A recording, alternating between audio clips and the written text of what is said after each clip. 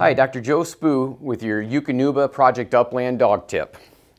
Today, Boomer and I are going to take a look at nail care and trimming your dog's nails. It's an often overlooked part of dog maintenance, and so I wanted to kind of give you some guidelines to be able to trim your own dog's nails.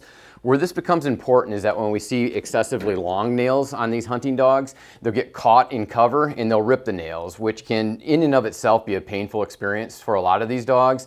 The thing we worry about long term though is if that nail goes unaddressed and stays broke, um, or if the dog starts licking at it and causes an infection, the next step back from that nail bed is bone. And we can have dogs that have pretty massive infections and issues with their feet if we don't take care of the, the nail um, prior or after it breaks. And so there's Boomer's kind of a good example because he's got two types of nails. He's got the black nails, which everybody hates to trim because you can't see the blood vessels. And then he also has the white nails where you can see the blood vessels. And so a couple of guidelines. One is like these middle two toes on him. You can see that we have one white nail and one black nail is I'll oftentimes use the white nail as kind of my guide for trimming the black nail. The other thing that we can do is that if you look at the bottom and so kind of flip the nail over and look at the back of the nail, you can see the thinning part of the nail that you're gonna take off.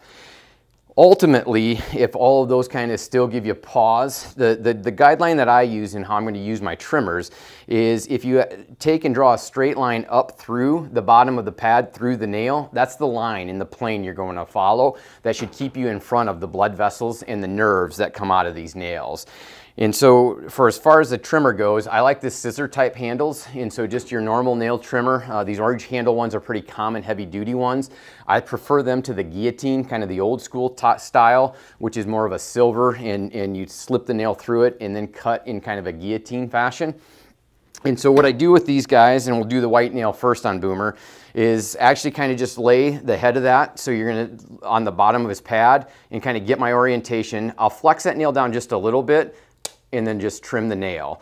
Uh, and then so then going over to the black nail, similar thing. I can kind of see where the blood vessels are on that pink nail, or I can use that paw pad as kind of my guideline and then trim it. A lot of uh, technicians and dog groomers will then go back and kind of shape that nail if it and take kind of the edges off of it to make sure that it doesn't snag. For me, the big thing is getting those tips of the nail off so that that dog's not gonna catch it while it's running through the field. So there you have it, uh, some good tips on, on trimming those dogs' nails. Uh, make sure that it's, it's not a neglected part of your field care as we go into this hunting season.